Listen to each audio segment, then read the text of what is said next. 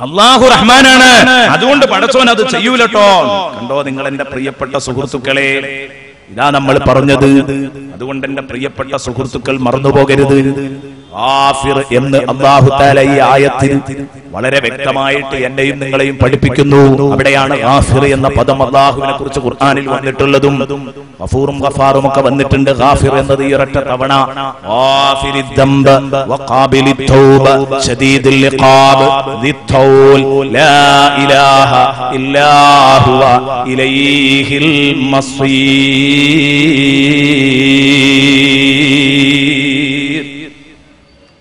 സല്ലല്ലാഹു അലൈഹി വസല്ലമ തങ്ങളോട് അല്ലാഹു ഇതാ പറയാൻ പറയുന്നു നബി ഇബാദി അന്നി അനൽ ഗഫൂറുർ റഹീം.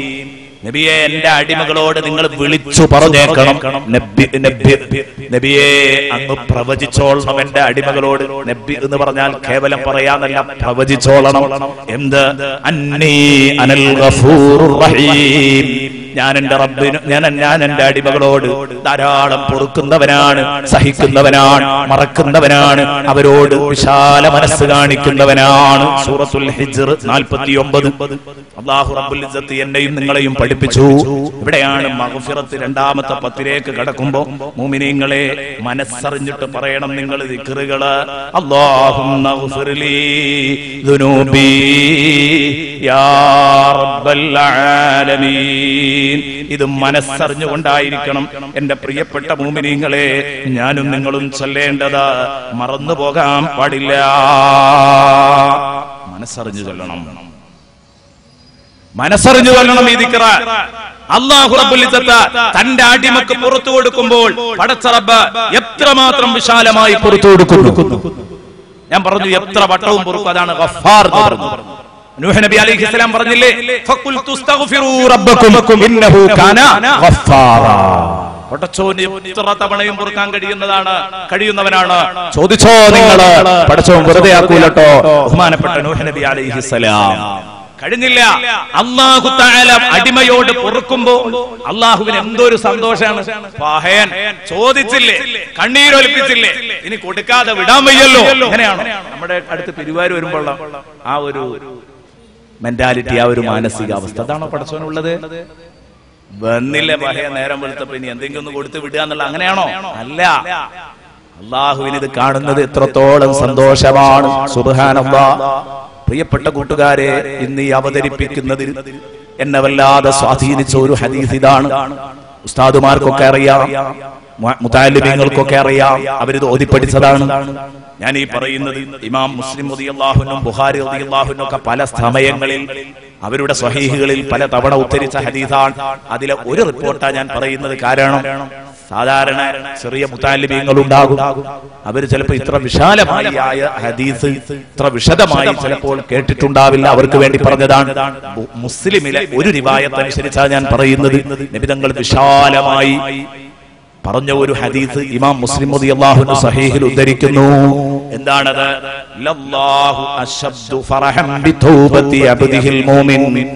തന്റെ മൂമിനായ അടിമ തൂപ ചെയ്യുമ്പോ അള്ളാഹുവിന് എന്തൊരു സന്തോഷമാണ് അവനോട് അവനോടെന്നറിയോ? വല്ലാത്ത സന്തോഷമാണ്. വല്ലാത്ത സന്തോഷമാണ്. ആരേക്കാൾ? മിൻ റജുലിൻ ഫീ അർദിൻ ദവിയത്തിൻ മഹ്ലക അതാ ഒരു പുല്ല് പോലും മുളക്കാത്ത കാക്കക്കിരിക്കാൻ തണലില്ലാത്ത ഒരു കൊട്ടൻ മരുഭൂമി. അതാ പരുക്കൻ മരുഭൂമിയിൽ ആ മരുഭൂമിയിൽ യാത്ര ചെയ്യുന്ന ഒരാളെ പോലെയാണ്. അവന്റെ കൂടെ അവന്റെ വാഹനമുണ്ട് ഒട്ടകമുണ്ട്. സങ്കല്പിക്കാം ആ വാഹനത്തിന്റെ പുറത്താണ്. അവനുള്ള ഭക്ഷണവും അവന്റെ വെള്ളവും ആ ഒട്ടകത്തിന്റെ പുറത്താ ഉള്ളത്. ആ ഒട്ടകത്തിന്റെ പുറത്ത് വെച്ച് കെട്ടിയിരിക്കുകയാണ്. ഒട്ടകക്കട്ടിലുണ്ട്. അങ്ങനെ യാത്ര ചെയ്തുകൊണ്ടിരിക്കുന്ന മനുഷ്യൻ. അയാൾ യാത്ര ചെയ്തു ചെയ്തു ക്ഷീണിച്ച് അവശനായി. കുറെ അങ്ങ് നീങ്ങിയപ്പോ ഒരു മരുപ്പച്ച കണ്ടു. എവിടെയോ ഒന്ന് രണ്ട് കുറ്റിക്കാടുകളൊക്കെ ഇങ്ങനെ കണ്ടപ്പോ ഒരു കുറ്റിമരം കണ്ടപ്പോ ആ മരച്ചുവട്ടിലൊന്ന് വിശ്രമിക്കാന്ന് കരുതിയിട്ട് അവിടെ ഇറങ്ങി ആ മരത്തിൽ ചാരിക്കിടന്ന് അതാ ഒന്ന് വിശ്രമിക്കാൻ വേണ്ടി കിടന്നതാണ് ഫനാമ. അങ്ങ് ഉറങ്ങിപ്പോയി ക്ഷീണത്തിന്റെ കടുപ്പം കൊണ്ട്. കുറച്ച് കഴിഞ്ഞപ്പം അയാൾ ഉണർന്നു. അയാളുടെ വാഹനം അവിടെ നിർത്തിയിട്ടിട്ടുണ്ടായിരുന്നു. ആ വാഹനം എങ്ങും പോകില്ല. പക്ഷേ ഉണർന്നപ്പോ വാഹനം കാണാനില്ല. ഈ മനുഷ്യനുണ്ടാകുന്ന വേദന എത്രയാണ്. ഉണർന്നു നോക്കുമ്പോ വാഹനം പോയിരിക്കുന്നു. അങ്ങനെ ആ വാഹനത്തെയും അന്വേഷിച്ച അയാൾ പരക്കം പാഞ്ഞു. ഒരുപാട് സ്ഥലങ്ങളിൽ അന്വേഷിച്ച് നടന്നു. അതാ അന്വേഷിച്ച് അന്വേഷിച്ച് തൊണ്ട വരണ്ടു. ദാഹിച്ചു വലഞ്ഞു. ഒരു കാര്യം. ഇതൊക്കെ ഈ ഹദീസ് ഇങ്ങനെ വായിച്ചു പോയതുകൊണ്ട് ഇതിന്റെ ഗൗരവം ഉൾക്കൊള്ളൂല. എന്താണ് മരുഭൂമിയുടെ ഭയാനകത? അതൊന്ന് പഠിക്കണം. അപ്പോഴേ മരുഭൂമിയിലെ വാഹനവും ആ വാഹനം നഷ്ടപ്പെട്ടവനൊക്കെ നമുക്ക് സങ്കല്പിക്കാൻ കഴിയും. മരുഭൂമിയിൽ നിന്ന് വാഹനമാണ് നഷ്ടപ്പെട്ട പിന്നെ അമ്മ മനുഷ്യൻ അവിടെ കിടന്ന് മരിക്കല. ഇത് തിരിയാത്ത ഒരാൾക്ക് എന്താ പൊരേക്ക് നടന്നു പോന്നാ പോരെന്ന്? ആ ഒരു മൈൻഡിലാ നിൽക്കുന്നതെങ്കിൽ സംഗതി ഇതൊന്നും വലിയതായി തോന്നൂല. അതിനകത്ത് പറയേണ്ടി വരുന്നത് മരുഭൂമി എന്ന് പറഞ്ഞാൽ അതിന്റെ ചിത്രം മനസ്സിലാകാൻ വേണ്ടി പറയാണ് ജിദ്ദയിൽ നിന്ന് ഒരു സഹോദരൻ ഒരിക്കൽ എന്നോട് പറഞ്ഞു അയാൾ ആടുവിസക്ക് വേണ്ടി ഗൾഫിലേക്ക് പോയതാ. ആടുവിസക്കാ കയറിയത്. അപ്പൊ ഇവിടുന്ന് തന്നെ പോകുമ്പോ പലരും പറഞ്ഞു ആടുവിസക്കാണെങ്കിൽ പോകണ്ടട്ടോ ഏതേ മരുഭൂമി കൊണ്ടുപോയിടുന്നു പറഞ്ഞു പറഞ്ഞു. ഇയാൾ വിഷയം അന്വേഷിച്ചപ്പോ പറഞ്ഞു പ്രശ്നമാക്കണ്ട കൂട്ടിലിട്ട് ഭക്ഷണം കൊടുത്താൽ മതി എന്ന് പറഞ്ഞു.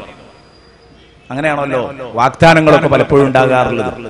ഇത്തരം വിസ കമ്പനികളിൽ കുടുങ്ങിയ കുറെ ഇരകൾ സദസ്സിലുണ്ടാവും അവർക്ക് വേഗം ബോധ്യപ്പെടുന്നത് അപ്പൊ എന്ത് ചെയ്തു? ഇതൊക്കെ കേട്ട് പോയി. ഒരാഴ്ച കൂട്ടിലിട്ട് തീറ്റ കൊടുക്കാൻ അറബി പറഞ്ഞു. അതിനനുസരിച്ച് ചെയ്തു. പിന്നെ ഈ കാട്ടറബി ഇയാളെയും കൊണ്ട് ദിവസങ്ങളോളം താണ്ടിയിട്ട് ഒരു മരുഭൂമി കൊണ്ടുപോയിട്ടു. അവിടെ ഒരു ആട്ടും കൂടും കുറെ ആട്ടും കൂടുകളും ആടുകളും ഒരു ആട്ടിൻ പറ്റും അതിന്റെ ഇടയിൽ ഇയാൾ ആറു മാസം ജോലി എടുത്തു. രണ്ടു മാസത്തെ ശമ്പളം കൊടുത്തു. നാലു മാസത്തെ ശമ്പളം കൊടുത്തില്ല. ഈ മനുഷ്യന് മഹാകഷ്ടവും അങ്ങേയറ്റത്തെ ദുസ്സാവുമാണ് ജീവിതം. സഹിക്കാൻ കഴിയുന്നില്ല. അങ്ങനെ ഒരിക്കൽ അറബി വരുന്ന സമയത്ത് അറബിയോട് ശക്തമായി കാര്യങ്ങൾ പറഞ്ഞു ധീരമായി ഇടപെട്ട് ഇയാൾ കാശൊക്കെ വാങ്ങിയപ്പോ അറബി പറഞ്ഞു ഞാൻ അയച്ചോളാം വീട്ടിലേക്ക് കാശ്. ഇയാൾ പറഞ്ഞു അത് പറ്റൂല. എന്റെ കാശ് എനിക്ക് തന്നെ കിട്ടണം. എനിക്ക് എന്നെ തന്നെങ്കിലേ പറ്റുള്ളൂ. എന്ന് പറഞ്ഞപ്പോ അവസാനം കൊടുത്തു. അറബി ഇത് കൊടുക്കാത്ത ഇതാണ്. കൊടുത്ത അയാൾ പോകുന്ന അറബിക്ക് അറിയാം. അപ്പൊ അതുകൊണ്ടാ കാശ് കൊടുക്കാത്തത്. അതിനാണ് പിടിച്ചു വെച്ചത്. ഏതായാലും കാശ് കിട്ടി. അന്ന് രാത്രി അയാൾ നെയ്യത്താക്കി പുറപ്പെട്ടു. എത്തുന്നിടത്തെത്തും. പുറപ്പെടുക തന്നെ അങ്ങനെ അയാൾ പറഞ്ഞു ദിവസങ്ങളോളം നടന്നു. ഒരു എക്സിറ്റ് കിട്ടാൻ. ഒരു പുറപ്പാടേ. കിട്ടണില്ല മരുഭൂമിയുടെ അവസ്ഥ അതാണ് അപ്പൊ ഇന്നത്തെ അവസ്ഥ അതാണെങ്കിൽ പറയുന്ന മരുഭൂമി എത്രമാത്രം ഭയാനകമായിരിക്കും എന്ന് ആലോചിച്ചു നോക്ക്. അല്ലേ ഇന്ന് മരുഭൂമികളൊക്കെ പൂന്തോപ്പുകളായി മാറിക്കൊണ്ടിരിക്കുകയാണ്. അപ്പൊ അലൈഹി വസല്ലം തങ്ങളുടെ കാലത്തുള്ള മരുഭൂമി എത്രമാത്രം ഭയാനകമായിരിക്കും? ഒട്ടകപ്പുറത്ത് കിലോമീറ്ററുകൾ താണ്ടി താണ്ടി പരിചയമുള്ള കാതങ്ങൾ താണ്ടി താണ്ടി പരിചയമുള്ള എത്ര ആവേശത്തോടെ ആയിരിക്കും ഈ ഹദീസ് കേട്ടിട്ടുണ്ടായിരിക്കുക. അതിനുവേണ്ടിയാണ് ഞാൻ പറയുന്നത് മരുഭൂമിയുടെ ഒരു ഒരു ഭയാനകമായ ചിത്രം മനസ്സിലുണ്ടാവട്ടെ. എന്നിട്ട് ഈ മനുഷ്യൻ പറഞ്ഞു പറഞ്ഞ് കണ്ണീരൊലിപ്പിച്ചു. ഇയാൾ ഇങ്ങനെ നടന്നു നടന്നു ഒന്ന് രണ്ട് ദിവസം കൊണ്ട് നടന്നപ്പോ ഒരടയാളം ഇങ്ങനെ കണ്ടു. അവിടെ എന്തോ ഒരാളനക്കവും എന്തോ ഒരു ജീവിയുടെ അടയാളമൊക്കെ ഉണ്ട് എന്ന് തോന്നി. ആ സ്ഥലം ലക്ഷ്യം വെച്ചിട്ട് ഈ മനുഷ്യൻ നടക്കുക. നടന്നു വന്നു. ഇയാൾ പറയാണ് അവിടെ എത്തി നോക്കുമ്പോ ഞാൻ പോയ ആട്ടുംകൂട്ടിക്ക് തന്നെ തിരിച്ചു വന്നു. കണ്ടോ? കറങ്ങാണ് മരുഭൂമിയിൽ. അപ്പോഴാണ് നമുക്ക് മൂസാനബിന്റെ ആ വിഷയമൊക്കെ ഖുറാനിൽ പറയുമ്പോ അങ്ങനെ അർദി എന്ന് പറഞ്ഞല്ലോ. ഭൂമിയിൽ കുറച്ച് അലഞ്ഞു.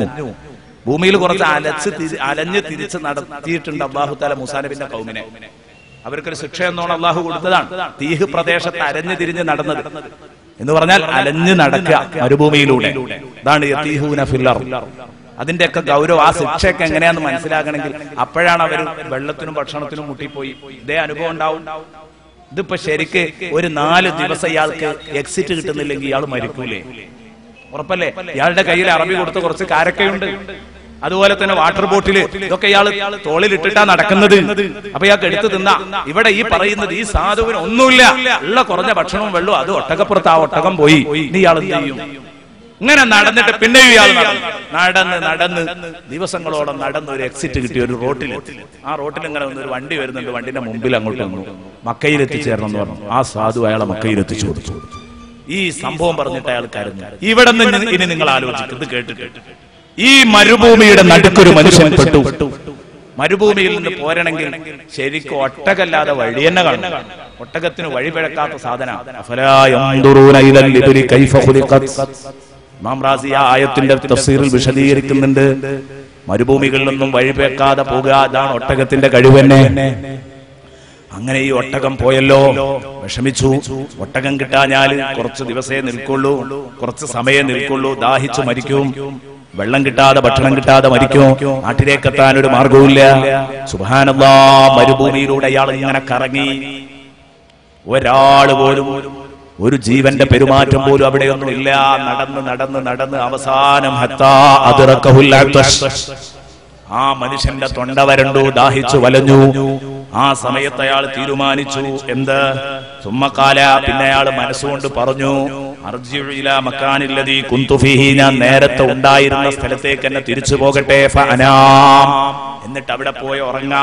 എന്തിന് ഹത്ത അമൂത്ത മരിക്കുന്നത് വരെ അവിടെ കിടന്ന് അങ്ങോട്ട് ഉറങ്ങാന്ന് കരുതിയിട്ട് ഇങ്ങോട്ട് പോന്നു. അവിടെ കിടന്നാണെങ്കിൽ മരിക്കുകയാണെങ്കിൽ അവിടെ കിടന്ന് മരിക്കുകയാണെങ്കിൽ മരിക്കട്ടെ എന്നും കരുതിയിട്ട് രണ്ടാമത് ഈ കുറ്റിക്കാടിന്റെ പരിസരത്തേക്ക് തന്നെ തിരിച്ചു വന്നു.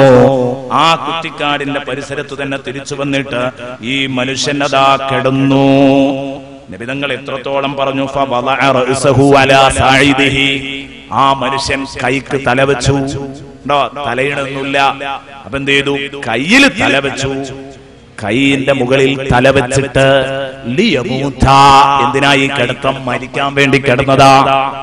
മരിക്കാൻ വേണ്ടി റെഡിയായി കിടന്നതാണ്. അങ്ങനെ നല്ല ക്ഷീണവുണ്ട് നടന്ന് തളർന്നതല്ലേ? ഫനാമ അയാളങ്ങ് ഉറങ്ങി. ഉറങ്ങിയപ്പം കുറച്ച് കഴിഞ്ഞപ്പം മനുഷ്യൻ ഉണർന്നു. ആ മനുഷ്യൻ ആ ഉണർ ആ ഉറക്കത്തിൽ നിന്ന് ഉണർന്നു നോക്കുമ്പോ. തനിക്ക് കൈവിട്ടുപോയ ഒട്ടകവിതാ മുമ്പിൽ ഇങ്ങനെ അനുസരണത്തോടെ വന്നു നിൽക്കുന്നു. അയാളെ ഭക്ഷണവും പാനീയവും യാത്രാ സാമഗ്രികളും എല്ലാം അതിന്റെ മുകളിൽ ഇങ്ങനെ വെച്ചിട്ടുണ്ട്. എത്ര സന്തോഷം ഉണ്ടാകോ. ഇതിലേറെ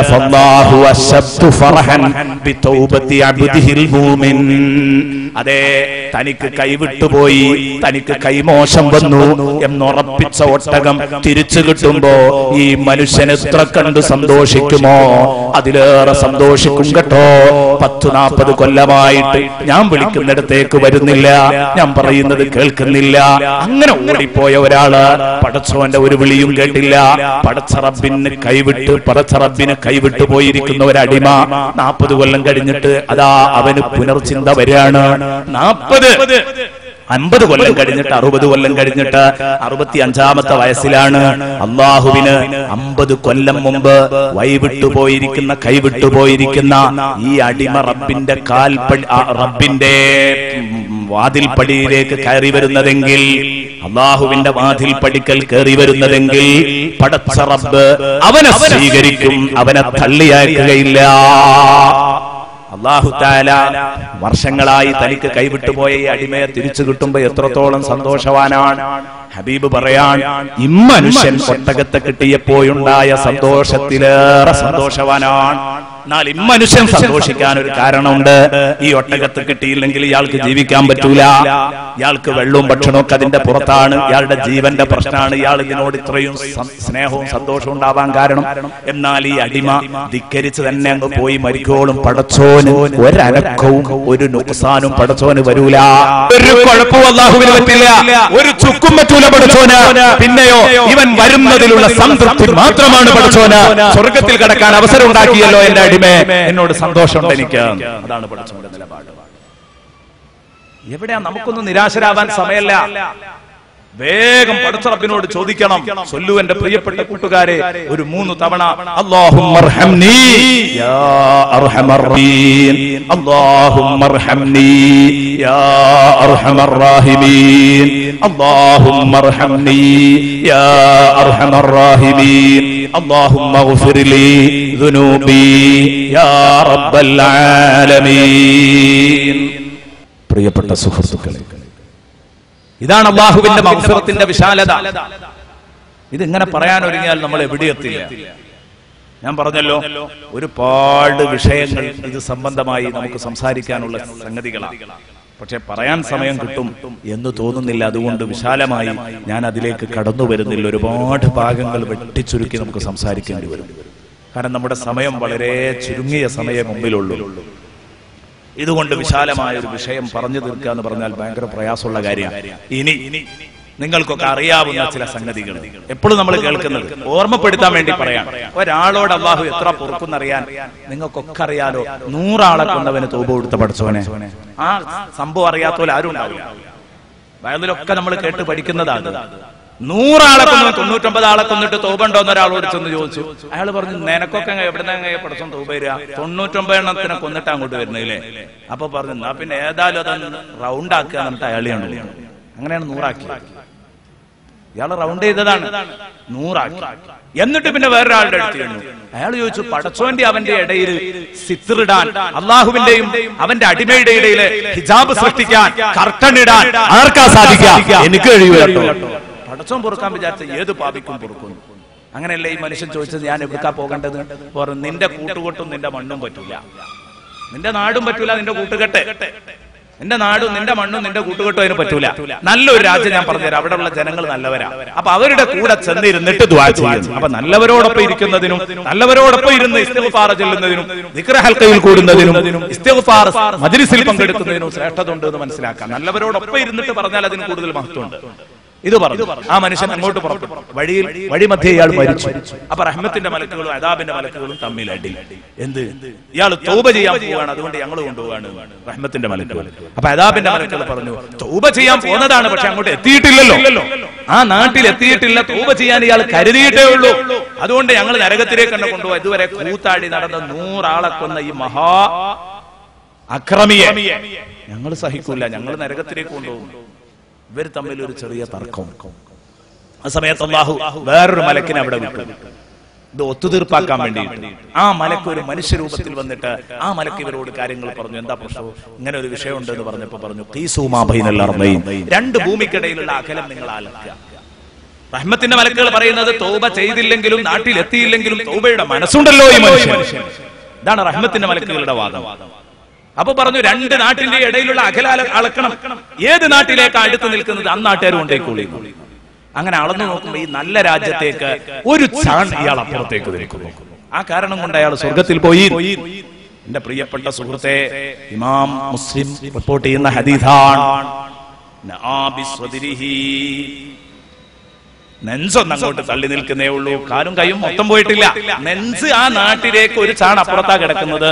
ആ കാരണം കൊണ്ട് ഇയാളുടെ മനസ്സൊരു ചാണ അങ്ങോട്ട് അടുത്തല്ലോ എന്നുള്ളത് കൊണ്ട് വരെന്ത് ചെയ്തു സ്വർഗത്തിലേക്ക് കൊണ്ടുപോയി?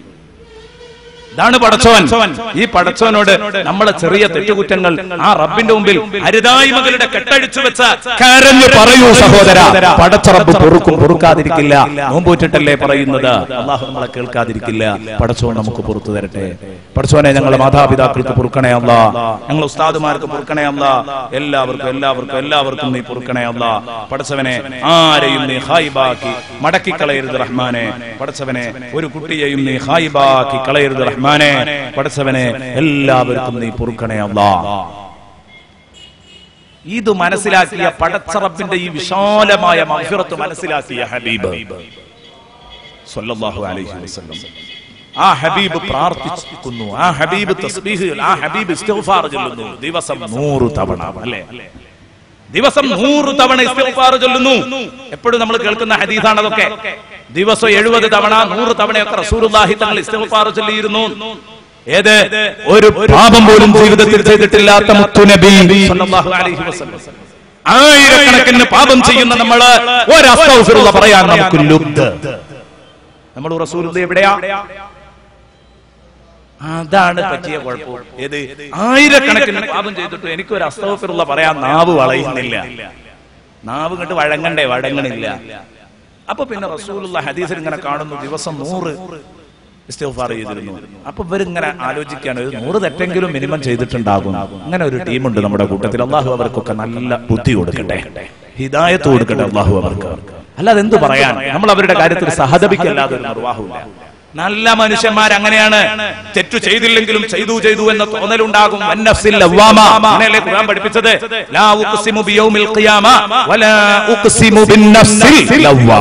സ്വന്തത്തെ പഴിക്കുന്ന പരിശുദ്ധാത്മാക്കൾ സാക്ഷിയാണ്. സ്വന്തത്തെ പഴിക്കും പരിശുദ്ധാത്മാക്കൾ എപ്പോഴും സ്വന്തത്തെ ഇങ്ങനെ കുറ്റപ്പെടുത്തിക്കൊണ്ടിരിക്കും. ഞാനൊന്നും അല്ലട്ടോ ഞാനൊന്നുമല്ല. ഞാനൊരു പച്ച സാധുവാണേ എന്നിങ്ങനെ പറഞ്ഞുകൊണ്ട് ഏതു ചെയ്യും? എപ്പോഴും കുറ്റപ്പെടുത്തിക്കൊണ്ടിരിക്കുന്ന ആ അവസ്ഥ നമുക്കുണ്ടായിക്കൂടാ. ആ അവസ്ഥ മുമിനിങ്ങളുടെ അവസ്ഥ അത് നമുക്ക് ഉണ്ടാവണം അതേസമയം എന്റെ പ്രിയപ്പെട്ട കൂട്ടുകാരെ അലൈഹി വസല്ലമ തങ്ങളെ കുറിച്ച് മഹാന്മാരെ കുറിച്ചൊക്കെ ചീത്തയായ അഭിപ്രായങ്ങൾ വെച്ച് പുലർത്തുന്ന ഒരവസ്ഥ നമുക്ക് ഉണ്ടായിക്കൂടാ അള്ളാഹു നമ്മളെ കാക്കട്ടെ. അള്ളാഹു നമ്മളെ കാക്കട്ടെ. പടച്ചോൻ നമുക്ക് നല്ല ബുദ്ധി തന്ന് അനുഗ്രഹിക്കട്ടെ. പ്രിയപ്പെട്ട സഹോദരന്മാരെ നബി സല്ലല്ലാഹു അലൈഹി വസല്ലമ തങ്ങൾ ഒരു ദിവസം അതാ അള്ളാഹുവിന്റെ ഹബീബ് സല്ലല്ലാഹു അലൈഹി വസല്ലം സുജൂദിൽ കിടന്ന് പ്രാർത്ഥിക്കുന്ന രംഗം. അൻസാരികളുടെ കൂട്ടത്തിൽപ്പെട്ട ഒരു മനുഷ്യൻ ആ മനുഷ്യൻ പറയുന്നു മറർത്തു അലാ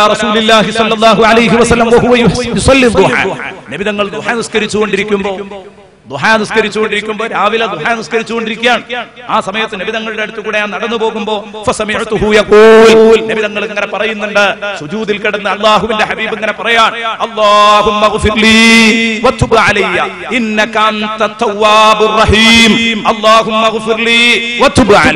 പടച്ചോനെ എന്നോട് പൊറുക്കണേ എന്റെ മേൽ ഉപസീകരിക്കണേ നീ അങ്ങേയറ്റം പക്ഷാതാപം സ്വീകരിക്കുന്നവനും എല്ലാ പാപങ്ങളും പൊറുക്കുന്നവനുമാണ്.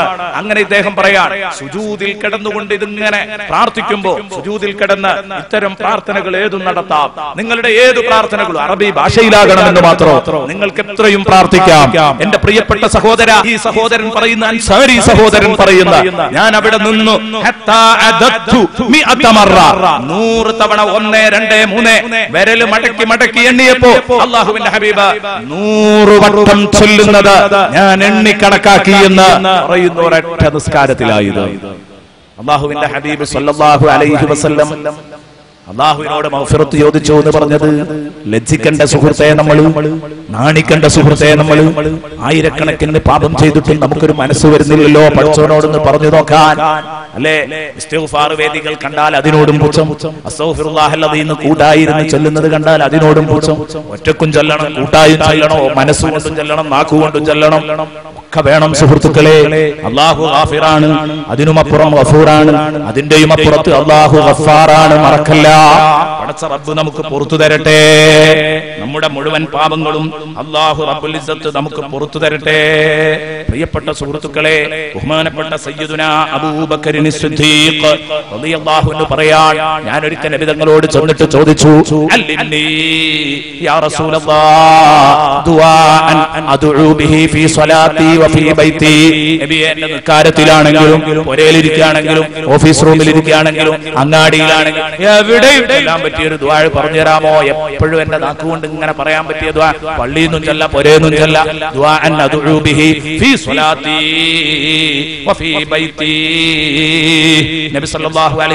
പറഞ്ഞു സുഹൃത്തെ പഠിച്ചു വെച്ചോ. നാക്ക് എപ്പോഴും ഇതുകൊണ്ട് നനഞ്ഞുകൊണ്ടിരിക്കട്ടെ. ഇത്തരം ദിക്റുകൾ. ആല നബി പറഞ്ഞു നിനക്ക് പറയാൻ പറ്റിയ നല്ലൊരു ദിക്റ് ഒഴിവുള്ളപ്പോഴൊക്കെ ചൊല്ലിക്കൊണ്ട് എന്ന് പറഞ്ഞിട്ട് റസൂലുള്ള പറഞ്ഞു കൊടുത്തു അല്ലാഹുമ്മ ഇന്നി ظلمت نفسي ظلما كثيرا ولا يغفر الذنوب إلا أنت فاغفر لي مغفرة من عندك وارحمني إنك أنت الغفور الرحيم اللهم الله إني ظلمت نفسي ظلما كثيرا ഞാൻ എന്റെ ശരീരങ്ങളോട് എണ്ണിക്കണക്കാക്കാൻ കഴിയാത്ത അക്രമങ്ങളാണ് പ്രവർത്തിച്ചിരിക്കുന്നത് പടച്ചോനെ.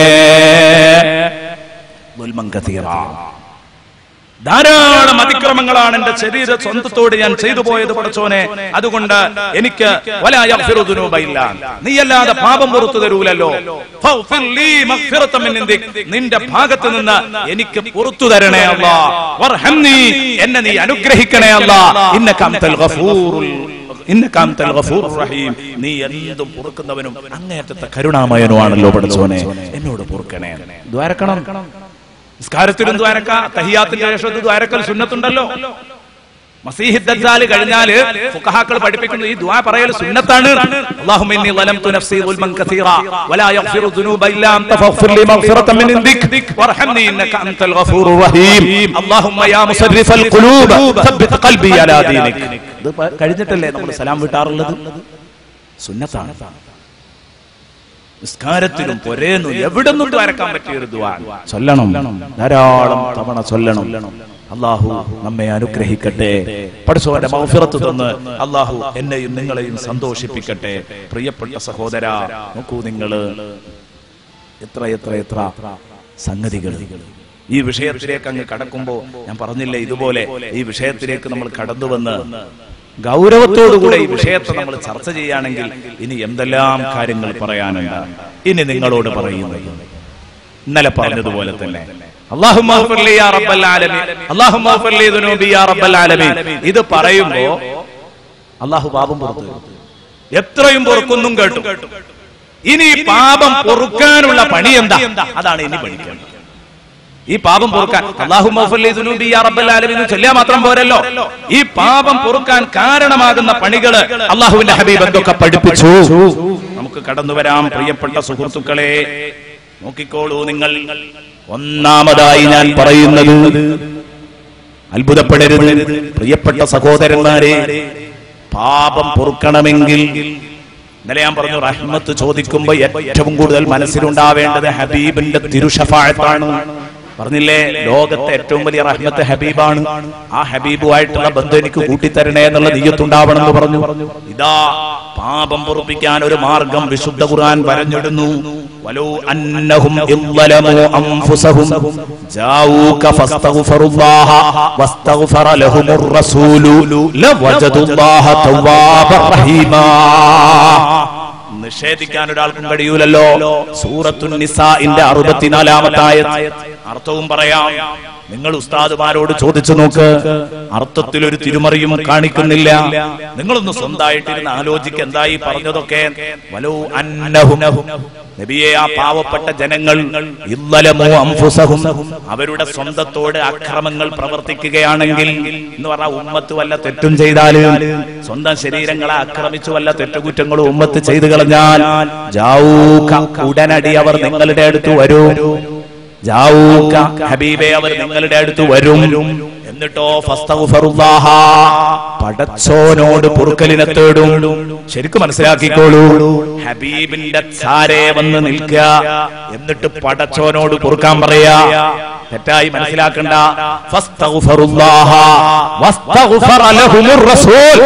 അങ്ങയുടെ ചാര വന്നു നിന്ന് പൊട്ടിക്കരയുന്ന ഒരു മനുഷ്യനെ അന്ന് കാണുമ്പോൾ റസൂൽ അവർക്ക് വേണ്ടി ഇസ്തിഗ്ഫാർ ചെയ്യും. നിങ്ങൾ അവർക്ക് വേണ്ടിയിട്ട് പൊറുക്കലിനെ തേടും.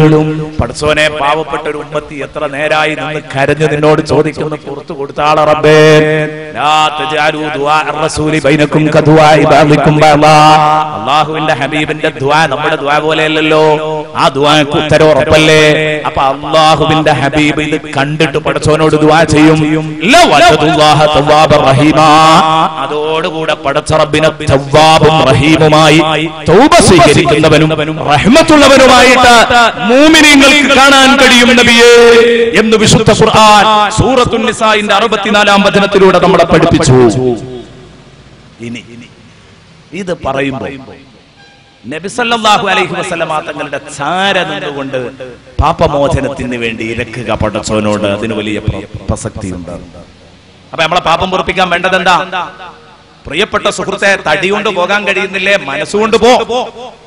ഹബീബിന്റെ ചാര നിൽക്കുന്നത് സങ്കല്പിക്ക ഹബീബിന്റെ പേരിൽ ഒരു പത്ത് സ്വലാത്തിയല്ലേ എന്നിട്ട് പറയട്ടെ അള്ളാഹുവിന്റെ ഹബീബ് സല്ലല്ലാഹു അലൈഹി വസല്ലമ തങ്ങളെ നേരിട്ട് ഹബീബിന്റെ ഹുദറത്തു ഷരീഫയുടെ മുമ്പിൽ ചെന്നു നിന്നുകൊണ്ട് ആ ഹബീബിന്റെ മുമ്പിൽ ചെന്നു നിന്നുകൊണ്ട് കരഞ്ഞു പറയാൻ കഴിയോ? പ്രിയപ്പെട്ട സുഹൃത്തെ പറയ അള്ളാഹു നിന്റെ പാപം പുറത്തു തരും പുറത്തു തരാതിരിക്കില്ല. പടച്ചോന പറയുന്നത് ഖുർആനിലാണ് പറയുന്നത്. ഇത് നബി തങ്ങളുടെ ജീവിതകാലത്ത് മാത്രമാണ് എന്ന് പരിമിതപ്പെടുത്താൻ ഒരു നിർവാഹവുമില്ല. കാരണം അങ്ങനെ ഒരു വാക്കേ അതിലില്ല. ഇനി ഇവിടെ സാധാരണ പറയാറുള്ളത് റസൂലുള്ളാഹി സല്ലല്ലാഹി അലൈഹി വസല്ലമ തങ്ങളുടെ അടുത്ത് ചെന്നു നിൽക്കണം എന്നത് ശരി. ചെന്ന് നിൽക്കണം. അവിടെ നബിയോട് പറയണം എന്നുള്ള ഒരു വാക്കുമില്ലല്ലോ. അള്ളാഹുവിനോട് പറയണം. അത് കണ്ടിട്ട് നബി പടച്ചോനോട് പറയാം. അങ്ങനെയല്ലേ അതിലുള്ളത്? ശരി. മൂമിനിങ്ങളുടെ വിശ്വാസം എന്താ? ഹുജറത്തു ഷരീഫക്കകത്തുള്ള മുത്തുനബി ഇത് കാണുന്ന ഇത് കാണുമെന്നാണ് അപ്പോഴേ റസൂലുള്ളാഹി സ്വല്ലല്ലാഹി അലൈഹി വസല്ലം തങ്ങളെ വിശ്വസിച്ചു എന്ന് പറയാനും പറ്റുള്ളൂ. അള്ളാഹുവിന്റെ ഹബീബിനെ മനസ്സിലാക്കാത്തത് കൊണ്ടാ. കണ്ടിട്ട് ഉടനെ നബി സല്ലല്ലാഹു അലൈഹി വസല്ലം നമ്മൾ പറയാൻ നിൽക്കേണ്ട അതിന്റെ മുമ്പ് തന്നെ നമുക്ക് വേണ്ടിയിട്ട് പഠിച്ചവനോട് പറയും ഉമ്മത്തിനോട് കരുണയുള്ളവരാ മുത്തുനബി. എന്നാൽ പടച്ചോനെ പുറത്തു തരണേ എന്ന് പറയുമ്പോ അള്ളാഹുവിന്റെ ഹബീബിന്റെ അടുത്ത് നിന്ന് നബിയേ ഇതാ ഈ പാവപ്പെട്ട ഉമ്മത്തി ഇവിടെ വന്നിരിക്കുന്ന. എനിക്ക് വേണ്ടി പടച്ചോനോട് ഒന്ന് റെക്കമെൻഡ് ചെയ്യണേ എന്ന്. ഒന്ന് പാപം പുറത്തു തരാൻ അപേക്ഷിക്കണേ എന്ന് പറഞ്ഞാൽ അത് തെറ്റാകൂല തെറ്റാകൂല. എന്തുകൊണ്ട്? ഈ ആയത്തിനെ വ്യാഖ്യാനിച്ചുകൊണ്ട് നബി തങ്ങളോട് ചോദിക്കണം എന്ന് പറഞ്ഞ പോലെ ആരും ഒറ്റ ആളെ ഉള്ളൂ. അത് ഇബിനു കസീറാണ്. അല്ലാമാൽ ഹാഫിദ് ഇബിനു കസീർ. ഇബിനു തിമിയുടെ ശിഷ്യൻ. നോക്ക് നിങ്ങൾ ഈ ഒരു ഗതികേട്. ഒറ്റ തഫ്സീറിലെ നബി സല്ലല്ലാഹു അലൈഹി വസല്ലമ തങ്ങളോട് ചോദിക്കണമെന്ന് പറഞ്ഞതുള്ളൂ.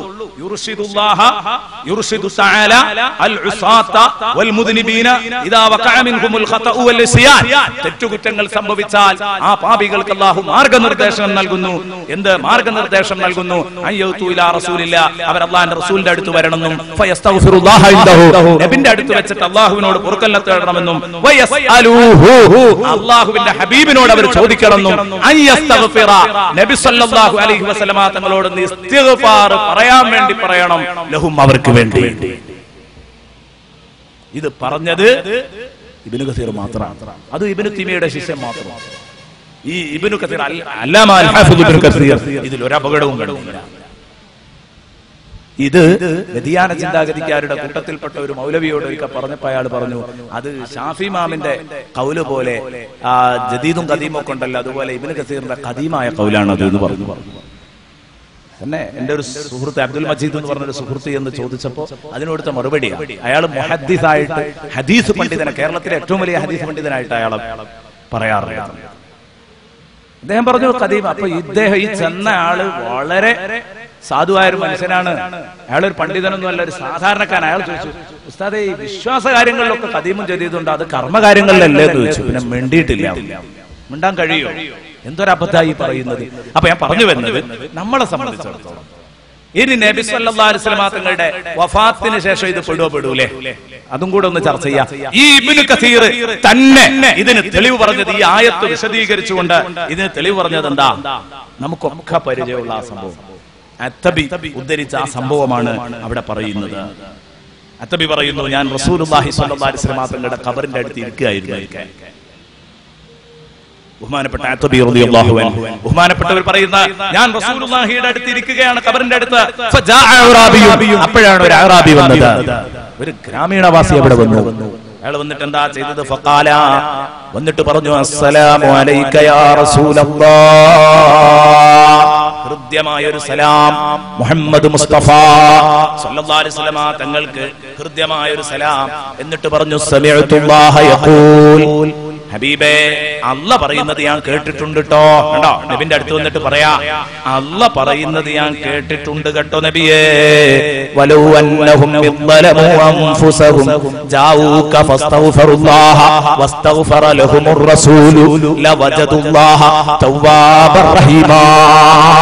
അതുകൊണ്ട് നബിയേ ഞാനിതാ അങ്ങയുടെ അടുത്ത് വന്നിരിക്കുകയാണ് ലിദംബി.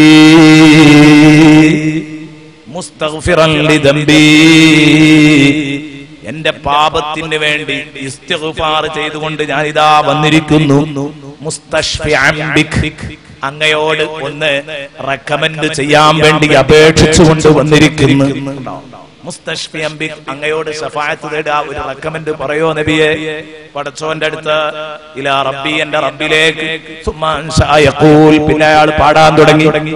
يا خير من دفنت بالقاء يعظموه فطاب من قبهن القاع والأكم نفسي فداء لقبر أنت ساكنه فيه العفاف وفيه الجود والكرم. മൗലായ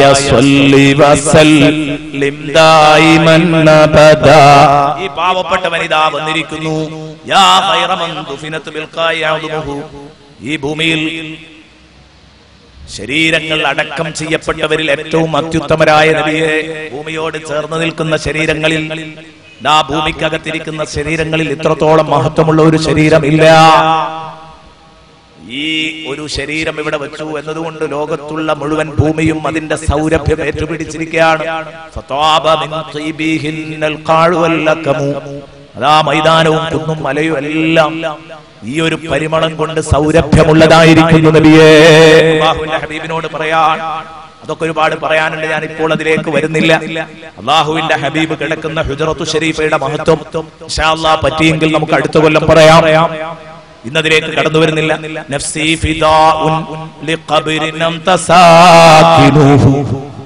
ഹബീബേ നഫ്സി ഫിദാ. എന്റെ ആത്മാവ് ദണ്ഡമാണ് ഹബീബേ. അങ്ങ് കിടക്കുന്ന ഈ ഖബറിന് വേണ്ടി ഞാൻ തന്നെ ദണ്ഡപാട് നബിയേ. എന്റെ ജീവാർപ്പണം നടത്താൻ ഞാൻ തയ്യാറാണ് ഹബീബേ.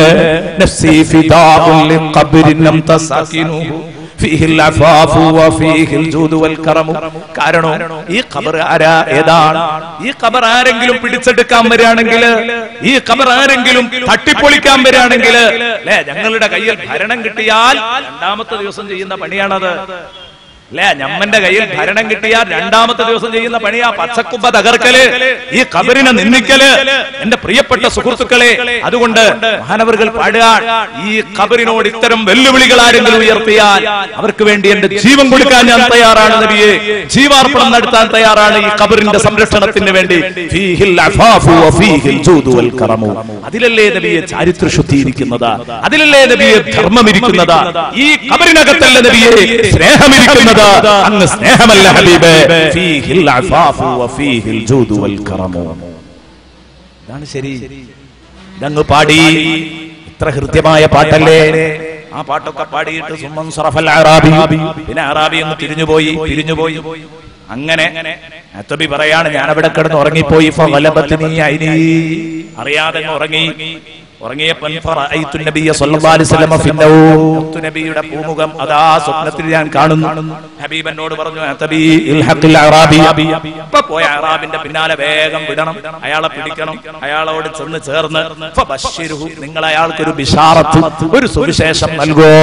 എന്താണ് ആ സുവിശേഷം? അന്നല്ലാഹ ഖദ് ഗഫറ ലഹു.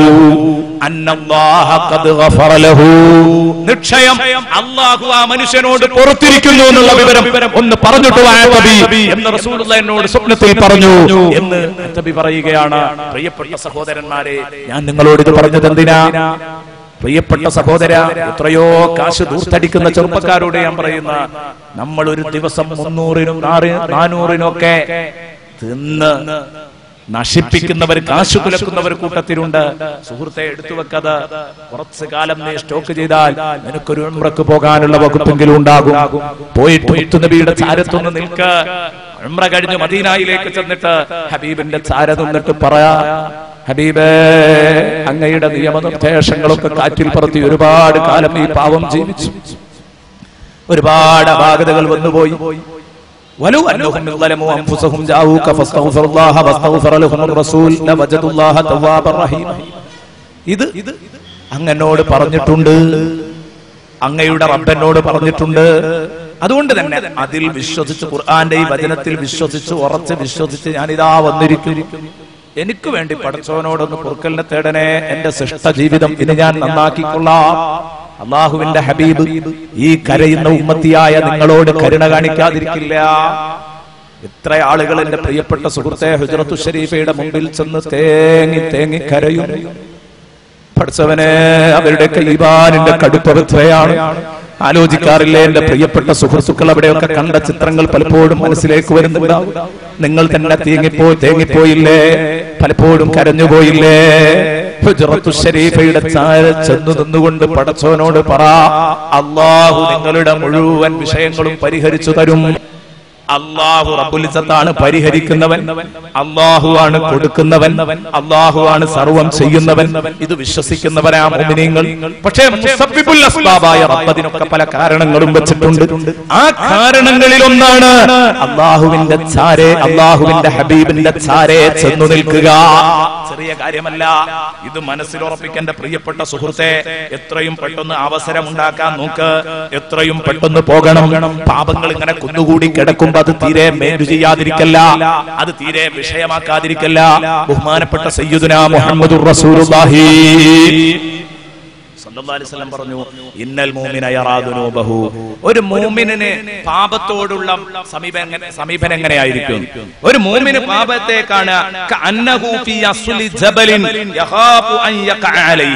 അങ്ങനെയാണ് ഒരു മൂമിനെ സംബന്ധിച്ചിടത്തോളം പാപം. എങ്ങനെ? ഒരു മലയുടെ ചുവട്ടിലോ അങ്ങനെ ഇരിക്കുക. അവൻ പോയിട്ട് ഒരു മലയുടെ ചുവട്ടിൽ ഇരിക്കുകയാണ്. മലയുടെ ചുവട്ടിൽ അവൻ ഇരിക്കുമ്പോ ആ മല അവന്റെ മേലെ വീഴാൻ നിൽക്കുന്നുണ്ട്. പൊളിഞ്ഞു വീഴാൻ നിൽക്കുന്നുണ്ട്. ഇത് എങ്ങനെ കാണാണ്. മല ഇങ്ങനെ താണു വരുന്നത് ചെരിഞ്ഞു വരുന്നത്. ആ സമയത്ത് അവൻ ധൈര്യമായിട്ട് അവരെ എണീസോടൂലേ ഇതേ രൂപത്തിലാണ് പാപങ്ങളെ മുസ്ലിം കാണാം പാപം എന്ന് ഓർക്കുന്നത് തന്നെ പേടിയായിരിക്കും. മല തലയിലൂടെ പൊളിഞ്ഞു വീഴാറായ ഒരു മലയുടെ ചുവട്ടിലിരിക്കുന്നവനെ പോലെയാണ് പാപ്പബാരുവായിട്ടൊരു മുസ്ലിം കഴിയുക. പാപ്പബാരുവായിട്ടൊരു മുസ്ലിം കഴിയുക. ആ പാപം പൊറപ്പിക്കാനുള്ള അവസരം ഉണ്ടാക്കണം. വൈനൽ അതേസമയം പാപം ചെയ്ത് ചെയ്ത് അങ്ങോട്ട് ശീലായ തമ്മാടിക്കോ? ശീലായി പോയ തമ്മാടിക്കോ? അവൻ എറാദുനൂബഹു. അവന്റെ പാപത്തെ എത്ര നിസ്സാരായിട്ട് കാണുന്നറിയോ? മിസ്ല ദുബാബിൻ മൂക്കത്തൊരു ഈച്ച വന്നിരുന്നാൽ അതിങ്ങനെ ആക്കിയാൽ അങ്ങോട്ട് പോകുന്നവൻ അറിയാം. അല്ലേ? മൂക്കത്തൊരു ഈച്ച വന്നിരുന്നാൽ നിങ്ങൾ അതിന് നാലാളെ വിളിച്ചിട്ട് എന്റെ മൂക്കത്തൊരു ഈച്ച ഒരു പരിഹാരം ഉണ്ടാക്കി തരണമെന്ന് പറയോ? ഇല്ല. അത് നിങ്ങൾ കൈകൊണ്ട് എങ്ങനെ അങ്ങോട്ട് വിശ്വാസം എന്നതുപോലെ പാപം ചെയ്യാന്നുള്ളത് നിങ്ങൾക്കൊരു വിഷയാവില്ല അത് നിങ്ങളുടെ അനുഭവത്തിൽ നിങ്ങളുടെ മനസ്സിൽ അത് വളരെ ചെറിയൊരു കേസായിരിക്കും. മൂക്കത്തീച്ചയെ പോലെ ഉണ്ടാവുള്ളൂ. ഹബീബ് മുഹമ്മദ് റസൂൽ അതുകൊണ്ട് പാപത്തെ പാപമായി കാണുക. ഗൗരവത്തോടെ കാണുക. ഗൗരവത്തോടെ കണ്ടുകൊണ്ട് നമ്മൾ നന്നാകാൻ അവസരം ഉണ്ടാക്കും പ്രിയപ്പെട്ട സുഹൃത്തെ. എങ്കിൽ എനിക്കും നിങ്ങൾക്കും നന്നാവാം. അപ്പൊ നബി സല്ലല്ലാഹു അലൈഹി വസല്ലമ തങ്ങളുമായിട്ടുള്ള ഒരു ബന്ധം. ഹബീബിന്റെ പേരിൽ സലാത്ത് അല്ലെ അതുകൊണ്ടാണല്ലോ നമ്മൾ തുടങ്ങുമ്പോഴും സലാത്ത് അവസാനിക്കുമ്പോഴും സലാത്ത് നബി ആയിട്ടുള്ള ഒരു ആത്മബന്ധം ഇല്ലാത്ത ഒരു മുസ്ലിം ഉണ്ടാവില്ല. നബി തങ്ങളെ മനസ്സിലിരുത്താത്ത ഒരു വിശ്വാസം ഉണ്ടാവില്ല നബിതങ്ങൾ പഠിപ്പിച്ചതല്ലേ അത്? ഇന്നൽ ഇരിസുൽ ഹയ്യത്തു ഇലാ ഇത് വാക്കല്ലേ? ഈമാൻ മദീനത്തേക്ക് ഉൾവലിയും കമാത ഇരിസുൽ ഹയ്യത്തു ഇലാ സർപ്പം അതിന്റെ മാളത്തിലേക്ക് ഉൾവലിയും പോലെ റസൂലുള്ളാഹി. ആ പറഞ്ഞ വാക്കിൽ എന്തെല്ലാം പഠിക്കാനുണ്ട് നമുക്ക്? മദീനയായിട്ടൊരു വിശ്വാസിക്കുണ്ടാകേണ്ട ബന്ധം അതിലുണ്ട് ആ പറഞ്ഞ വാക്കിൽ. അല്ലേ? മദീനത്തേക്ക് ഉൾവലിയും ഈമാന്. മദീനത്തേക്ക് ഞാനത് കുറെ വിഷയ വിശദീകരണം അവിടെ പറയാണ്ട് ഒന്ന് രണ്ടെണ്ണം പറയും. ഒന്ന്. പാമ്പ് വലിയും പോലെ എന്നാ പറഞ്ഞത് ഒന്ന്.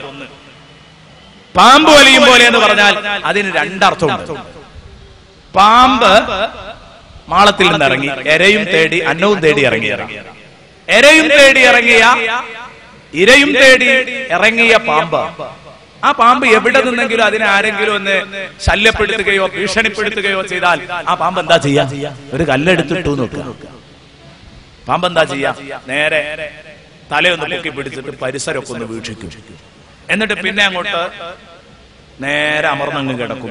ഒരൊറ്റ ഓട്ടം. ഈ ഓട്ടോ ഓടുന്നത് എവിടക്കാ? നമ്മൾ ഇനി ഗവേഷണശാലയിൽ കയറണോ. അതിന് എവിടേക്കാണ് ആ പാമ്പ് പോയത്? എന്തിനാണാവോ അത് പോയത്? എല്ലാവർക്കും അറിയാതെ അത് അതിന്റെ മാളത്തിലേക്കാ ഓടിയത്. എല്ലാവർക്കും അറിയാം അതിന് ഗവേഷണം നടത്തി ഇങ്ങനെ തലമുണ്ടാക്കണം അത് വളരെ വ്യക്തമാണ്. എന്നതുപോലെയാണ് എന്ത്? ഒരു വിശ്വാസി വല്ല പ്രയാസങ്ങളും പ്രതിസന്ധികളും വല്ല ഭീഷണിയും ഉമ്മത്തിക്ക് തോന്നിയാൽ ഉടനെ അവൻ അഭയം പ്രാപിക്കുക മദീനയിലാണ്. ഇന്നൽ മദീന ഇലാ പാമ്പിനെന്തേ ലായിലാഹില്ലെന്ന് മറന്നു ഏതാ പാമ്പ്? പാമ്പ് നമ്മളെക്കാൾ ലായിലാഹില്ലെന്ന് ഉഷാറായിട്ട് പറഞ്ഞ ആളാ അല്ലേ? പാമ്പിൽ ഒരക്ഷയൊന്നും കാഫിറില്ലല്ലോ. എല്ലാം ലായിലാഹില്ലെന്ന് പറഞ്ഞവരാണ് പാമ്പിൽ. എന്നിട്ട് എന്റെ പ്രിയപ്പെട്ട സുഹൃത്തെ നിഷേധിയില്ല പാമ്പിന്റെ കൂട്ടത്തിൽ. അറിയൂലേ നമുക്കിത്? പാമ്പിന് ശരിക്കും ലായിലാഹില്ലെന്ന് അറിയൂലേ? പക്ഷേ പാമ്പിനറിയ പടച്ചോനാണ് എന്നെ രക്ഷിക്കുന്നത് എന്ന് പറഞ്ഞാലും മാളത്തിൽ കയറി ഇരിക്കുന്നത് പടച്ചോൻ എന്നെ രക്ഷിക്കാൻ കാരണമാക്കിയതാണ്. അവിടെ കയറി നിന്ന റബ്ബ് എന്നെ രക്ഷിക്കും. എന്നതുപോലെ മുത്തുനബിയുടെ ചാരെ ചെന്നു നിന്നാൽ എന്റെ മനസ്സ് എന്റെ ശരീരം മുത്തുനബിയുമായിട്ട് ബന്ധപ്പെട്ട് നിൽക്കുന്നുണ്ടോ? മദീനയായിട്ട് ടച്ച് ഉണ്ടോ എന്നെ തകർക്കാൻ കഴിയില്ല. ഇതാണ് ഇമാം അൻഹു പറഞ്ഞത്. എനിക്ക് തകർച്ച എന്ന സംഭവം ഉണ്ടായിട്ടുള്ള റസൂലുള്ളാഹിനെ സ്നേഹിച്ചതിന് ശേഷം. അങ്ങനെ ഒരു സംഗതി എന്നെ ഉണ്ടായിട്ടില്ല.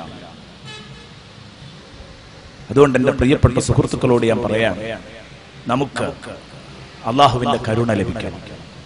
അള്ളാഹുവിന്റെ മഫിറത്ത് ലഭിക്കണം. ഇതിനു വേണ്ടി നമ്മൾ എപ്പോഴും പ്രാർത്ഥിക്കേണ്ട സഹോദര. ഹബീബായ മുഹമ്മദ് റസൂലുള്ളാഹി. തങ്ങളോട് ബന്ധം വേണം. ഇനിയോ പാമ്പ് മാളത്തിലേക്ക് വലിയും പോലെ എന്ന് പറഞ്ഞതിൽ വേറൊരു അർത്ഥവും കൂടെ അതെന്താ? പാമ്പ് സർപ്പം മാളത്തിലേക്ക് വലിയുമ്പോ അതിനൊരു സ്വഭാവം ഉണ്ടാവും മാളത്തിലേക്ക് കയറിയ സർപ്പത്തെ പകുതി നമുക്ക് കിട്ടിയെന്ന് സങ്കല്പിക്കാം. നിങ്ങൾ പിന്നാലെ ചെന്നിട്ടൊന്ന് പിടിച്ചു നോക്ക് സർപ്പത്തെ. പിടിച്ചിങ്ങോട്ട് വലിച്ചു നോക്ക്. ആഞ്ഞു വലിക്കും ഉള്ളോട്ട്. എത്ര അങ്ങോട്ട് വലിച്ചിട്ടും കാര്യമില്ല ആഞ്ഞു വലിക്കുള്ളൂ. ഒരു കഷ്ണം അങ്ങോട്ട് മുറിയാന്നല്ലാതെ പാമ്പ് ഇങ്ങോട്ട് വരൂല. അത് പാമ്പിന്റെ അനുഭവമാണ്. ഇത് പാമ്പ് മടയിൽ കയറുമ്പോ ഒന്ന് പിടിച്ചു നോക്കിയാൽ അറിയാം. ഒന്ന് കയറിട്ട് കെട്ടി വലിച്ചു നോക്കിയാൽ അറിയാം. കിട്ടൂല പാമ്പിനെ. മുറിയാന്നല്ലാതെ അത് അതിന്റെ മാളത്തിലേക്ക് വലിഞ്ഞുകൊണ്ട് ശരിക്ക് ആഞ്ഞു വലിക്കുന്നില്ല എന്നതുപോലെ. ഞാൻ പറഞ്ഞു വരുന്നത് ഈ ഹദീസിന്റെ അർത്ഥം എന്താ? പ്രവാചക വിരോധികൾ എത്ര മെനക്കെട്ട് മുഹിബീങ്ങളെ ആശിക്കങ്ങളെ മദീനയിൽ നിന്ന് അകറ്റാൻ ശ്രമിച്ചാലും മൂമിനിങ്ങൾ ഉടുമ്പിനെ പോലെ ഒട്ടി നിൽക്കും. പോരൂല. അത് മൂമിനിങ്ങളുടെ പ്രത്യേകതയാണ്. അത് വിശ്വാസികൾക്ക് മാത്രമുള്ള ഒരു ശക്തിയാണ്. അള്ളാഹു നമുക്ക് നിലനിർത്തി തരട്ടെ. മരിക്കാൻ ഇഷ്കിൽ മരിക്കാൻ അള്ളാഹു നമുക്ക് തൗഫീക്ക് നൽകട്ടെ. എന്റെ പ്രിയപ്പെട്ട സുഹൃത്തെ പാപം പൊറുക്കാനുള്ള അവസരമാണത്. അള്ളാഹുവിന്റെ ഹബീബിനോട് ചോദിക്ക. ഹബീബിൽ അള്ളാഹുവിനോട് പറയട്ടെ. എന്നിട്ട് പടച്ച റബ്ബിന്റെ ഹബീബിന്റെ ചാര ചെന്നു നിന്ന് റബ്ബിനോട് പറയട്ടെ. എന്നാൽ റബ്ബ് താല നിങ്ങളുടെ പാപം പൊറുക്കും. അപ്പൊ ഹബീബുമായിട്ട് ബന്ധമുണ്ടാക്കുക. അതിനാണ് ദ്വാ നടത്തുമ്പോ ദ്വാ സ്വീകരിക്കാനുള്ള ഡിമാൻഡ് റസൂർ എന്ന് പഠിപ്പിച്ചത് എന്താ? ഹംദ് മാത്രോ. എന്തേ ഹംദ് മാത്രം പറഞ്ഞാൽ പോരായിരുന്നോ? സലാത്തുണ്ട് അൽഹംദുലില്ലാ എന്ന് പറയുന്നത് അള്ളാഹുവിനെ പുകഴ്ത്തല സ്വലാത്ത് റസൂലുള്ളാനെ പുകഴ്ത്തല. അത് വേണോ? അത് ചെയ്തിട്ട് ചോദിക്കു പഠിച്ചവനോട് അള്ളയും നബിയുമായിട്ട് ബന്ധം വേണോ? മുഹമ്മദുർ ഷഹാദ ഷഹാദയുടെ രണ്ട് കലിമ ഒന്ന് വെട്ടിച്ചുരുക്കരുതേ. ഒന്ന് വെട്ടിച്ചുരുക്കരുത്. അഷ്ഹദു അല്ലാ ഇലാഹ മാത്രം പറഞ്ഞാൽ മുഅ്മിനാവൂല. അഷ്ഹദു അന്ന മുഹമ്മദർ റസൂലുള്ളയും പറയണം? അത് എവിടെയൊക്കെ വെക്കണോ? അതൊക്കെ നിങ്ങൾ വെക്കണം. മനസ്സിലിരുത്തണം മുത്തുനബിയെ. മുത്തുനബിയെ കുടിയിരുത്തിയാൽ അവൻ തകരൂല. ഒരിക്കലും തകരില്ല. പറയാൻ ധാരാളം അനുഭവങ്ങളുണ്ട് ചരിത്രങ്ങളുണ്ട്. ഞാൻ അതിലേക്ക് കടന്നു വരാൻ സമയദൈർഘ്യം ഭയന്നുകൊണ്ട് തൽക്കാലം മാറുകയാണ് പ്രിയപ്പെട്ട മോമിനിങ്ങളെ. അതിലേക്ക് കടക്കുന്നില്ല. ഇനി അള്ളാഹുവിന്റെ മഹുഫിറത്ത് കിട്ടാൻ ഇനി നമ്മൾ ചെയ്യേണ്ട പണി എന്താണ്? മറ്റൊരു പണി പ്രിയപ്പെട്ട സുഹൃത്തുക്കളെ എനിക്കും നിങ്ങൾക്കും ചെയ്യാൻ പറ്റിയ പണിയാണ്. എന്താണെന്നറിയോ? പാപങ്ങളെ ഗൗരവത്തോടെ കണ്ടുകൊണ്ട് ചോദിക്കണം എന്ന് പറഞ്ഞു. ഇനി രണ്ടായത്തുകൾ വിശുദ്ധ ഖുർആനിലുള്ള രണ്ടായത്തുകൾ ഈ രണ്ടായത്തുകൾ നിങ്ങൾ ഓതുന്ന പക്ഷം നിങ്ങൾക്ക് അള്ളാഹു റബ്ബുൽ ഇസ്സത്ത് അത് ഓതിയവന് പുറത്തു കൊടുക്കും. ബഹുമാനപ്പെട്ട അസ്വദ് റളിയല്ലാഹു അൽ ഖമർ റളിയല്ലാഹു അൻഹു. ഇവർ പറയുന്നു അബ്ദുള്ള റളിയല്ലാഹു അൻഹുവിനെ തൊട്ടാണ് റിപ്പോർട്ട്. എന്താ പറഞ്ഞത്? അബ്ദുള്ള റളിയല്ലാഹു അൻഹു പറഞ്ഞു കാല അസ്വദും അൽക്കമയും അബ്ദുള്ള റളിയല്ലാഹു അൻഹുവിന്റെ അടുത്ത് ചെന്നപ്പോ അവർ പറയാണ് അബ്ദുള്ള അസ്വദിനോടും അൽക്കമയോടും പറഞ്ഞതാണ്. എന്താ പറഞ്ഞത്? ഇന്നീല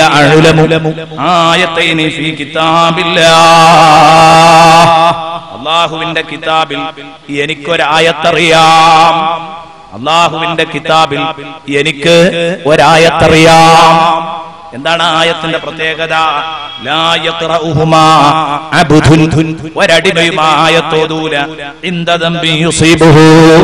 അവൻ എന്തെങ്കിലും ഒരു തെറ്റ് ചെയ്യുകയാണെങ്കിൽ ആ തെറ്റ് ചെയ്ത ഉടനെ തന്നെ. അറിയാതെ വല്ല തെറ്റും ചെയ്തു പോയെങ്കിൽ ഗൗരവം ആലോചിക്കാതെ ചെയ്തു പോയെങ്കിൽ ഉടനെ തന്നെ ഈ രണ്ടായത്തുകൾ അവൻ ഓതി. പിന്നെ പടച്ചവനെ പുറത്തു തരണേ എന്ന് പറഞ്ഞാൽ ഇല്ല ഗഫറലഹു. പടച്ച റബ്ബ് അവന് പുറത്തു കൊടുക്കാതിരിക്കില്ല. ഇങ്ങനെ രണ്ടായത്തുണ്ട്. അസ്വദ് അൻഹുമ. ഇവർ അബ്ദുള്ള റളിയല്ലാഹു അൻഹുവിനോട് ചോദിച്ചു അയ്യു കിതാബിൽ അങ്ങനെ രണ്ടായത്തോ? ഏതാണ് ആ എന്ന് ചോദിച്ചപ്പോൾ ഫലം ഞങ്ങൾക്ക് വിഷയം പറഞ്ഞു തന്നില്ല. ആരെ അബ്ദുള്ള? എന്തിനാ നോക്കി കണ്ടോട്ടെ എന്ന് കരുതിയിട്ട്? അത് നോക്കുമ്പോ ഒരു അന്വേഷണം നടത്തുമ്പോ വേറെ പലതും കാണും. അതിനു വേണ്ടിയിട്ട് തൽക്കാലം ഞങ്ങൾക്ക് അത് പറഞ്ഞു തന്നില്ല. അങ്ങനെ ഞങ്ങൾ രണ്ടുപേരും അസ്വദും അൽക്കമയും പറയാം. ഇങ്ങോട്ട് തുറന്നു. മുസ്ഹഫ് തുറന്നു. എന്നിട്ടോ സൂറത്തുൽ ബഖറ. ഞങ്ങൾ ഓതി നോക്കി. സൂറത്തുൽ ബക്രയിൽ ആയത്തുണ്ടോ നോക്കാൻ വേണ്ടിയിട്ട് സൂറത്തുൽ ബക്ര ഓതി നോക്കി. അപ്പോ വീണ്ടും ഞങ്ങൾ പാരായണം തുടങ്ങി. സൂറത്തുൽ ബക്ര കഴിഞ്ഞു. സൂറത്തുൽ ബക്ര കഴിഞ്ഞപ്പോ ഫലം ഷൈആ ഒന്നും കിട്ടിയില്ല. പിന്നെ ഞങ്ങൾ സൂറത്തുൽ നിസാ ഓതി ആദ്യം മുതൽ അവസാനം വരെ ഓതാനുള്ള പരിപാടിയാ. ഇത് കിട്ടുള്ളൂ ഓതുന്നുള്ള തീരുമാനമാണ്. അപ്പൊ അൽബക്കറ കഴിഞ്ഞ് പിന്നെ സൂറത്തു നിസാ തുടങ്ങി അൽബക്കറ കഴിഞ്ഞ ആലുംറാനല്ല തുടങ്ങേണ്ടത് നിങ്ങൾ ചോദിക്കും. ഇത് അസുവദിനും അൽക്കമക്കും അറിയാം. അതുകൊണ്ടാണ് അസുവദും അൽക്കമയും ഇത് പറഞ്ഞു വരുമ്പോ അവിടെ തന്നെ പറഞ്ഞു വഹിയ ഫീ അബ്ദില്ലാഹി അലാ. നിസാ സൂറത്തായിരുന്നു അൽ ബക്രയുടെ പിന്നിൽ അബ്ദുള്ള രചിച്ച മുസ്ഹഫിൽ അബ്ദുള്ള കുത്തി തുന്നിക്കൂട്ടിയ മുസ്ഹഫിൽ. കാരണം പിൽക്കാലത്തല്ലേ പിന്നെ മുസ്ഹഫ് മുസ്ഹഫായി തുന്നിക്കൂട്ടിയതും തെർത്തീബാക്കിയതൊക്കെ ആദ്യതൊക്കെ എല്ലാവരും കൂടെ അവരവരുടെ അടുത്തുള്ളതൊക്കെ തുന്നിക്കൂട്ടി വെച്ചിരിക്കുകയായിരുന്നു. പിന്നെ അത് തെർത്തീബിലും ഓർഡറിലും തുന്നിക്കൂട്ടിയത് നമുക്കറിയാം എന്റെ പ്രിയപ്പെട്ട സഹോദരന്മാരെ പിൽക്കാലത്താണ്. ഇതെല്ലാവർക്കും അറിയാവുന്ന കാര്യമാണ്. ഉസ്മാൻ ബിൻ ഉസ്മാൻ ബിൻ അഫാൻ റളിയല്ലാഹുവിന്റെ കാലത്താണ് അതിന്റെ കോപ്പി വിതരണം നടന്നത്. അതിന്റെ മുമ്പ് തന്നെ അപൂർവം ചിലയിടങ്ങളിലൊക്കെ ഇതുണ്ട്. എന്ന് പറഞ്ഞാൽ ലഭിതങ്ങൾ പോയതിന്റെ ശേഷം കുറെ ആളുകൾ ഇങ്ങനെ കൂടിയിട്ട് കൂടിയിരുന്നിട്ട് അഭിപ്രായം പറയാൻ ഉണ്ടാക്കിയതല്ല നേരത്തെ റെഡിയാണ്. തുന്നിക്കെട്ടുക എന്നുള്ള പരിപാടിയാണ് അബൂബക്കർ സിദ്ദീഖ് റളിയല്ലാഹുവിന്റെ കാലത്ത് നടന്നത്. തുന്നിക്കെട്ടുക എന്നുള്ള പരിപാടി ക്രോഡീകരിച്ചു എന്ന് പറഞ്ഞ പരിപാടി. അത് നടന്നത് തുന്നിക്കട്ടലാണ്. നേരത്തെ ഉണ്ട് പലയിടങ്ങളിലായി കിടക്കാൻ. അപ്പൊ ഓരോരുത്തരും ഓരോരുത്തരുടെ ശൈലിയിലാണ്. അപ്പോ അൽബക്രയുടെ താഴെയായിരുന്നു സൂറത്തു നിസാ ഉണ്ടായിരുന്നത്. അബ്ദുള്ള മുസാഫിൽ. അപ്പൊ അബ്ദുള്ളയുടെ വീട്ടിൽ നിന്നാണ് അപ്പൊ അവരുടെ മുസാഫ് എടുത്താ ഞങ്ങൾ ഓതുന്നത്. അതുകൊണ്ടാണ് കേട്ടോ അൽബക്ര കഴിഞ്ഞ് നിസാ തുടങ്ങിയത്. ഈ പറഞ്ഞതിന്റെ അർത്ഥം.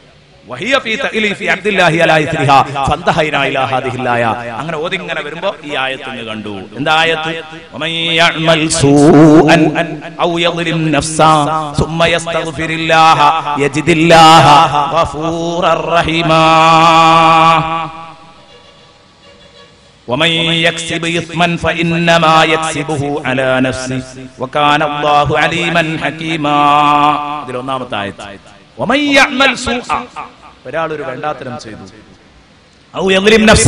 അല്ലെങ്കിൽ അവന്റെ സ്വന്തം ശരീരത്തോട് അക്രമം പ്രവർത്തിച്ചു.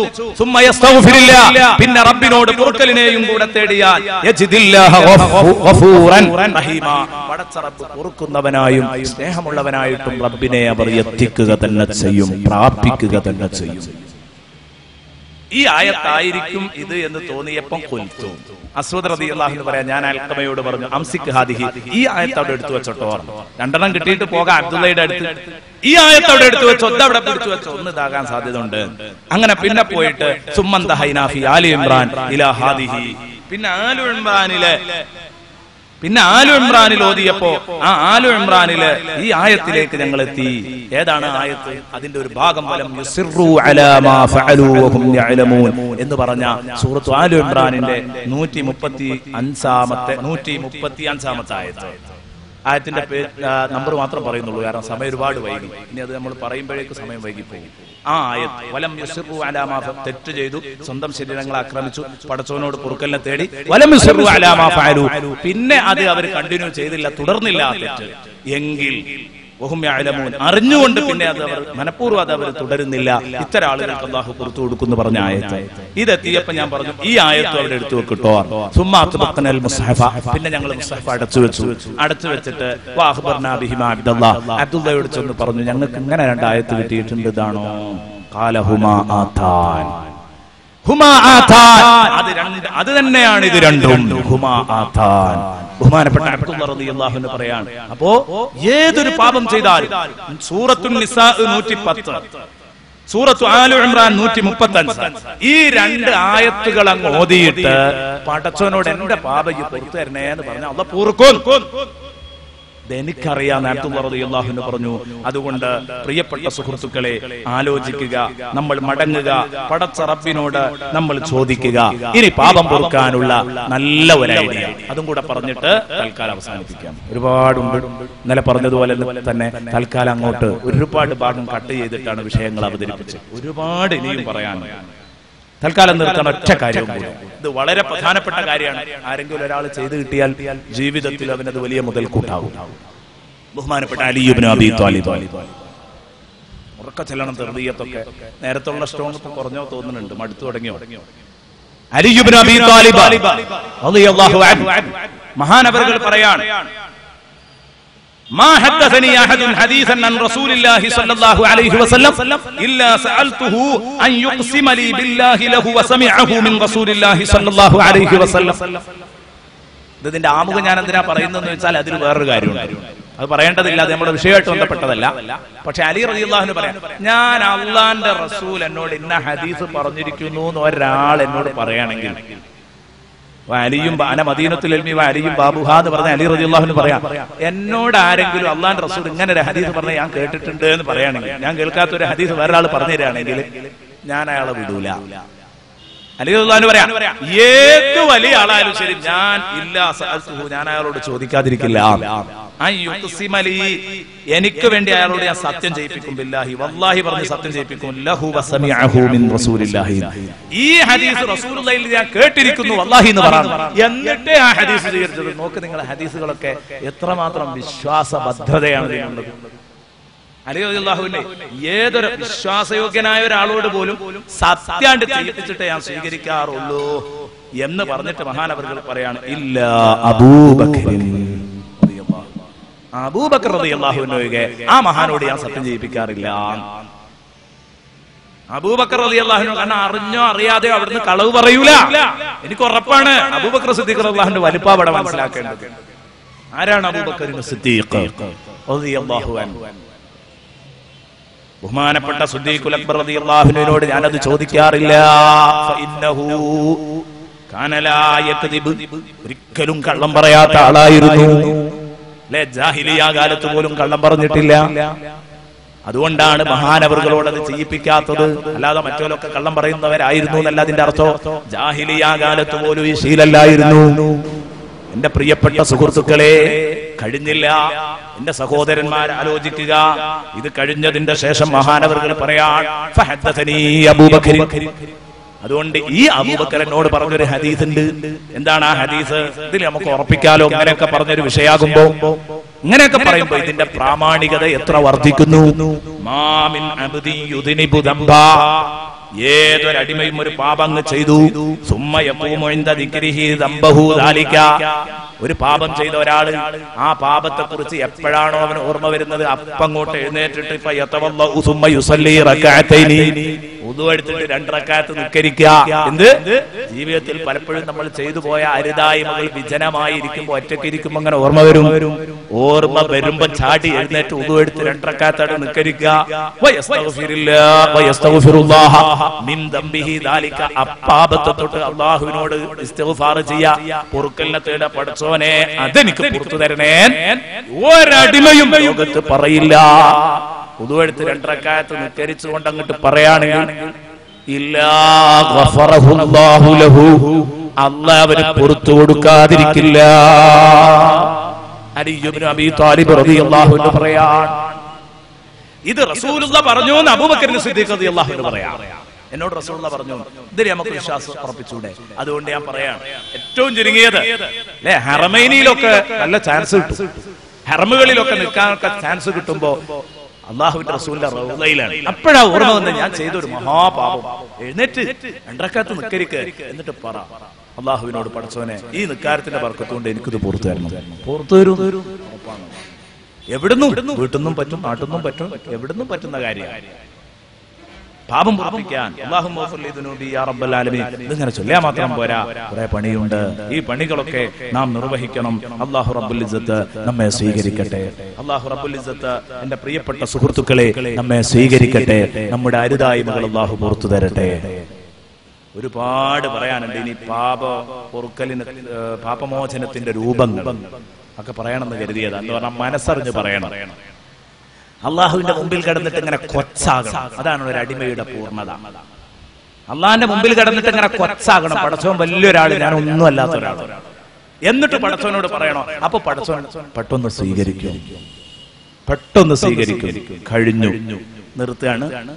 രണ്ട് മിനിറ്റും കൂടെ. എന്നിട്ട് നമുക്ക് ദ്വാ ചെയ്ത് പിരിയാം. ഒരുപാട് ആളുകൾ ദ്വാ ചെയ്യാൻ വേണ്ടി വസീയത്ത് ചെയ്തവരുണ്ട്. അള്ളാഹു റബ്ബുൽ അവർക്കൊക്കെ അർഹമായ പ്രതിഫലം അള്ളാഹു കൊടുക്കട്ടെ. എല്ലാവർക്കും അർഹമായ പ്രതിഫലം അള്ളാഹു നൽകട്ടെ.